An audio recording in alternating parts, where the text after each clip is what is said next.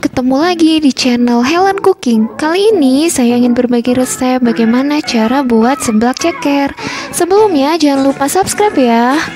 Bahan-bahannya 5 buah ceker ayam, 2 buah sosis, 5 lembar daun jeruk, 6 siung bawang putih, 6 buah kencur, 25 buah cabai rawit, 1 bungkus jamur inoki kemasan, Kecap asin ini opsional ya, bisa pakai atau tidak.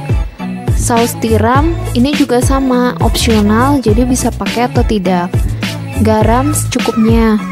Satu butir telur, satu liter air, lada atau merica secukupnya, totole atau penyedap secukupnya.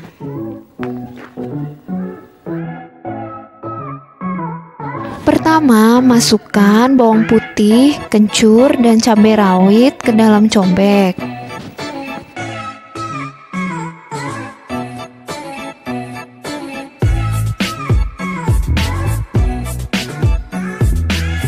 Kemudian masukkan totole,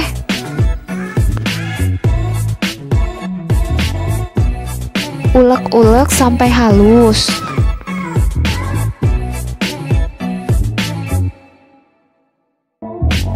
Lalu masukkan garam secukupnya, ulek lagi sampai halus seperti ini. Potong sosis.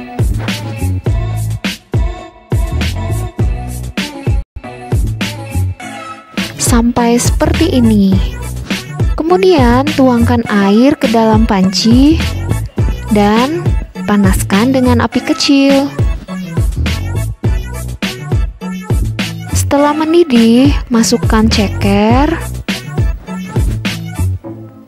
dan masukkan garam supaya rasanya bisa meresap sampai ke ceker.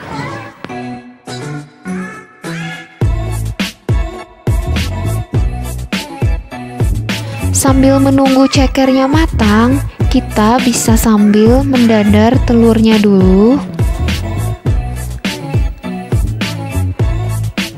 Aduk-aduk.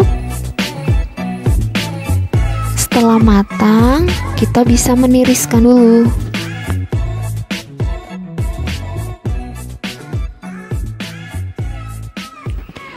Panaskan minyak.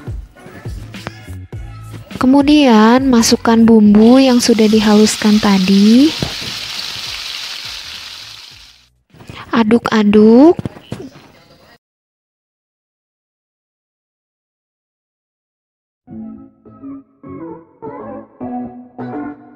Masukkan kecap asin jika ingin memakai kecap asin. Masukkan saus tiram, ini juga opsional.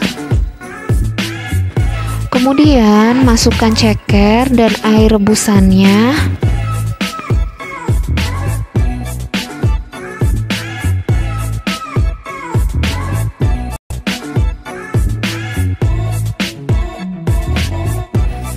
Lalu masukkan telur yang tadi didadar.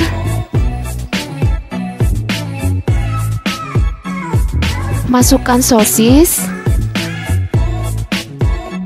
Masukkan totole atau penyedap. Masukkan jamur inokinya.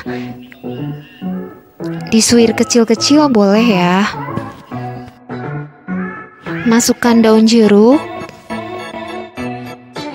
Masukkan lada atau merica, kemudian matikan api. Nah, kurang lebih seperti ini ya. Seblak ceker kuah siap untuk dihidangkan. Selamat mencoba ya. Jika bermanfaat, kamu bisa subscribe, like, dan share ya. Terima kasih telah menonton. Jangan lupa follow juga IG kita.